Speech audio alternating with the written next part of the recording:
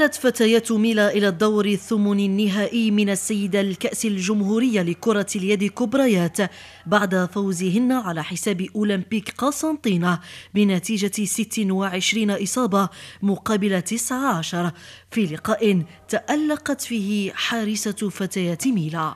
المباراة إحنا كنا على بالنا بها باللي ماشي سهلة والحمد لله درنا سمانة كاملة حنا تعبنا وجدنا لها في وجدناها في في ظروف أحسن.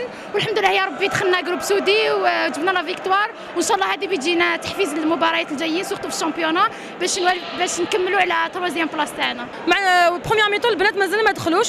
وزيد الصاله هذه باردة باش تشوفي وتدخلي فيها شوية صعيبة. بصح deuxième mi-temps جاتنا سهلة l'équipe كامل لعبت و l'équipe كامل رتحوا وحدة بوحدة. والحمد لله على victoire وإن شاء الله نواصلوا على هذا الطريق إن شاء الله. ما يخص المقابلة المقابلة عرفنا تصرفنا فيها. المنافس ما كانش يعني خصم يعني قوي. كان في الشوط الأول آه، كان مليح وبدنيا ما ما قدرش يقاوم يكمل المقابلة.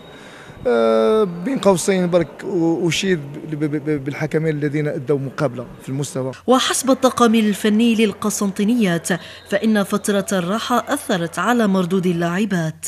Il y a eu une des perturbations في la préparation, mais ce match nous permet c'est un avant-match تاع الشامبيونا et notre objectif c'est le maintien في الشامبيونا ان شاء الله فريق فتيات ميلا يبحث عن الذهاب بعيدا في منافسة الكأس مع التركيز أيضا على مواصلة التألق في البطولة بالحفاظ على المرتبة الثالثة.